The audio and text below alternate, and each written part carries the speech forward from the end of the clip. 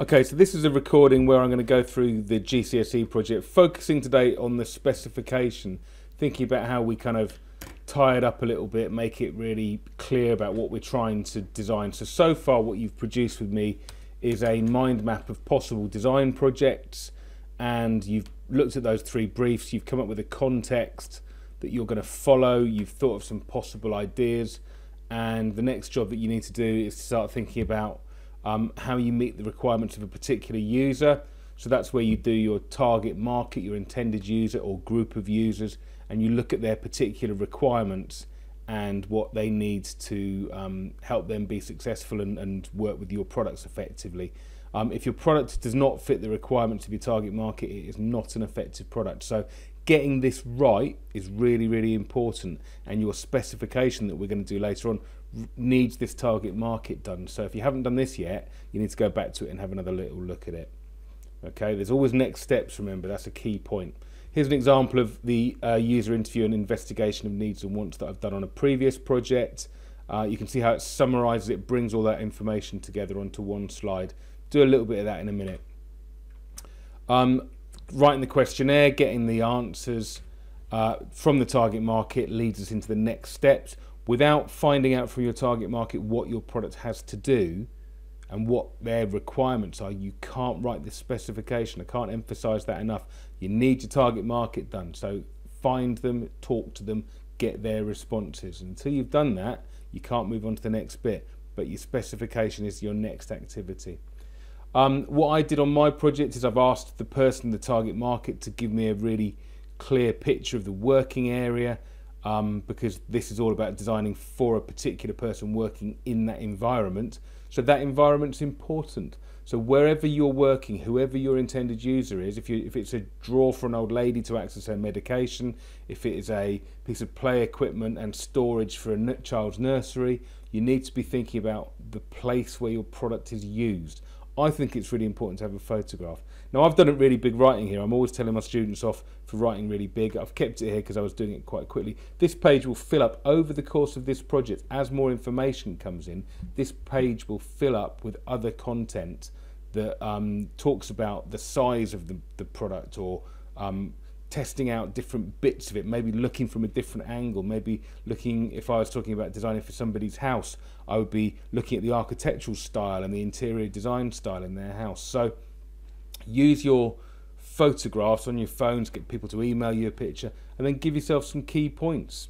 This is quite quite basic at the moment. Um, it will fill up, but it does tell me quite a lot about what my product has to do. Then I look at existing products. Now these things are interchangeable, aren't they? Survey with your intended user, looking at your existing products, looking at the place where it's used. You can do those. Design isn't one step, one step, one step. It's very much about looking at things and coming back to them and revisiting. So this is another one. Thinking about how the product is used, thinking about existing products, and then you start to go, well, could that one work in that position? I don't know. You look at it yourself. Okay, so now we're on to the design specification. Here is one from a previous one. I'll leave that in the video if you want, just, just for reference. I'm going to go on to how we designed this one though. Okay, so this is one from a previous project. Um, Access FM, we often talk about Access FM. There's lots of different ways of doing things. This is like a, a, a way of remembering things that you ought to include. Aesthetics, environment, cost, size, function, materials, customer safety, etc. Um, AC, I think I'm C E S S F M. Yeah, Access FM is there. Um, there are some prompts for you. You don't have to use Access, Access FM, and you can come up with more for yourself by all means. But this is if you're stuck, look on this video for these key pointers for you. So here's the design specification, design brief and specification. The word specification comes from the point that you have to be specific. You have to be really, really clear about what you are intending to do. If you go back to those Access FM, I think there's nine, eight or nine points there. Um, on this table, you've got room for that. You can always come up with more. What you don't want to do is have not enough points. The specification is your checklist for success.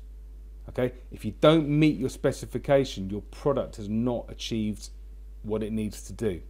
So by getting this specification right at this point, it gives you really, really clear guidance as you move through the project about what your next steps have to be because you can kind of tick them off. Is it environmentally friendly? Yeah, tick it off. Is it safe, no finger traps? Yeah, tick it off. But when we're doing it at this stage in the project, we don't have all the information. We're, we're still researching, we're still finding out. So this specification can be adapted, but you need some sort of guidance about how to start, don't you? So here, here's how I do it. I have a specification statement, I justify it using reasons or notes, and then I think about a possible test for it, okay? So I'm just going to run through a couple of these with you. Um, let's go back. It will be simple and model looking. That is so not specific. It is really poor um, at the moment. But I'll come back. I'll do some investigation of architects or designers, and I'll say it will be after uh, Richard Rogers, or it will look like uh, Michael Graves, or, or you know, I'll, I'll, think about it really, really clearly, or I'll say it must look like Fallingwater as a house. I'll be clear later, but for now, because I haven't done that research, that I'll have to do. It'll be less than £30 in materials to manufacture the prototype. You'd hope so, um, certainly, you, we're talking. I'm talking about the prototype being the product at the moment. We won't go in GCSE. We won't go into mass production or batch production. So that basically means that our end result will be the prototype. So I'm saying thirty pounds maximum. That's quite a lot of money, actually. Uh, it must be suitable for adult use in a typical home. Look, a toddler, a baby, is going to knock things over. So you don't design furniture for a baby unless you're working in a nursery setting, and then maybe you do. So I'm talking about adult use, normal use, okay? You have to build in a little bit of capacity for things not working out, but basically that's it. Then you give your reasons or notes for each single point. Oh, I'm jumping backwards and forwards, got my hand on my tablet there. Um, for every point, you have to give a reason. If you don't justify it, you don't get the marks. Okay, now I'm not going to read through my specification for you um, because you can read that on the video. So basically, all the way through, I'm looking back to Access FM. So I'm looking at aesthetics, cost, customer, environment, size, safety, function, materials, and then a couple of other points that go with it. And then each one of those gets a justification. Here's the interesting bit, a possible test. Now you get marks at the end of your project for evaluation and ongoing testing. So you might as well think about how am I going to test that? How am I going to check as I go along? So you start writing things that you're going to do to look at to see if it's worked out. Okay, I'm going to compare to see if it's modern looking by comparing with existing products. I'm going to look at whether or not I've hit my £30 budget. Guess what? I'm going to calculate the costs. So this isn't this isn't really really difficult. You just got to kind of follow the process. Uh, it will be made from environmentally friendly materials such as metal or timber based products. But what about if you do research and you go, actually, do you know what? That particular polymer or that particular ceramic is better. I'll use that instead. As long as you justify it, that's, that's perfectly okay at the moment. Uh, it'll be the height of a standard armchair and have an A3 size top. I'm going to do model testing for that. Okay, so look, one, two, that's four of those. I just, I'm going to test my model. You can see how important testing is all the way through your project. So the key bit for you, use Access FM, write your criteria, try and be specific where you can, give reasons for it, making sure you're giving reasons, and if you haven't can't think of a reason, then maybe it shouldn't be a specification point. and then come up with your tests. Now I use my specification to come up with a design brief. I am going to. Now, in industry, you would be given a design brief. Design and make me A.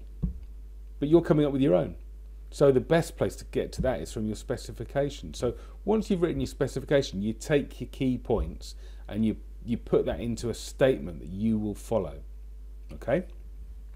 And as always, next steps. Next steps. What am I going to do next? Sorry, things are popping up. I've got a drawing tablet in front of me. I keep knocking it. Um, what are you going to do now? What are you going to do as a result of doing your research into your target market and writing your specification? So I give myself four or five points. Or six. Is that six? Five. Um, quick designs to produce a range of possible ideas. Some methods of expanding products so it folds out or it stretches out. Um, looking at working from home more generally. Maybe there are some companies that do that really well already. Um, I'll keep checking with my target market or intended user. And I'll start to think about materials. None of that is really, really tricky to do. You've just got to do it, and it's quite a big process to do. But design is challenging. Design is is hard. Um, so it's it's a proper job, and this is how we do a proper job. Um, so that's writing a design brief and specification. And remember, your specification has to be as specific as you can make it. Some of those are very general at the moment, so don't say, well, that one looks all right. They're a bit general at the minute because I haven't finished researching. I will make them more specific as I go. All right. Always give yourself some next steps and always be clear about the reasons why you got a specification point on there. Okay. Take some time over the specification. This has taken me again. It's taken me an hour to do this at least, if not more. All right. So um, take